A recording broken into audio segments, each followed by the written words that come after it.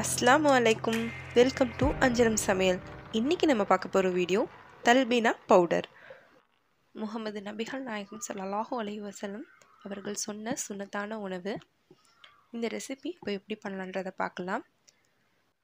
பாதாம் ஐம்பது gram cucumber seed இருபத்தஞ்சி கிராம் பிஸ்தா இருபத்தஞ்சி கிராம் பார்லே நூறு கிராம் எடுத்துக்கிறேன்.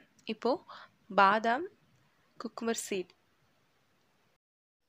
பிஸ்தா பார்லே எல்லாத்தையுமே வானலில் வறுத்தெடுத்துக்க போகிறேன் முகமது நபிகள் நாயகம் சல்லாஹூ அலஹி வசல்லம் அவர்கள் தல்பீனா உணவு செய்கிறதுக்காண்டி சேர்த்த பொருட்கள் வந்து பால் பேரிச்சம்பழம் தேன் பார்லே இதுதான் சேர்த்தாங்க. நாலுமே சுண்ணத்தான உணவுகள்.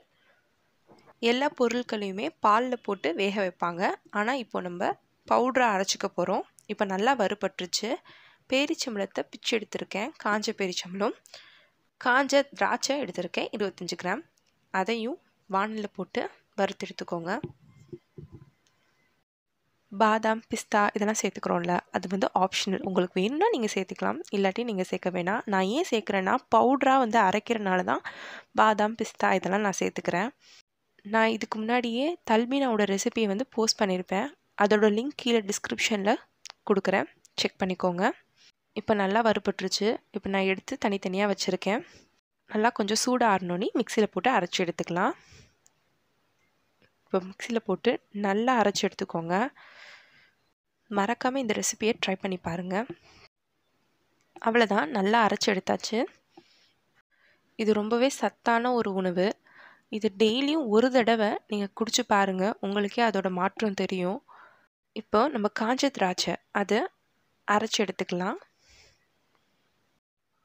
அவ்வளோதான் அரைச்சாச்சு. இப்போ அந்த பவுடரோடு மிக்ஸ் பண்ணிப்போம். உங்களால் ஸ்பூனால் மிக்ஸ் பண்ண முடியலன்னா கையை வச்சு எல்லா பக்கமும் மிக்ஸ் பண்ணி விட்டுருங்க. ஏன்னா பேரிச்சம்பழத்தை அவ்வளோ ஈஸியாக மிக்ஸ் பண்ண முடியாது. ஏன்னா அது கொஞ்சம் ஈரப்பதமாக இருக்கும். பவுட்ரு எல்லா இடத்துலையும் படும்போது தான் கொஞ்சம் ட்ரைனஸ் கிடைக்கும். நல்லா கையை வச்சு மிக்ஸ் பண்ணி விட்டுருங்க எல்லா பக்கமும். அவ்வளோதான் எல்லா பக்கமும் மிக்ஸ் பண்ணியாச்சு.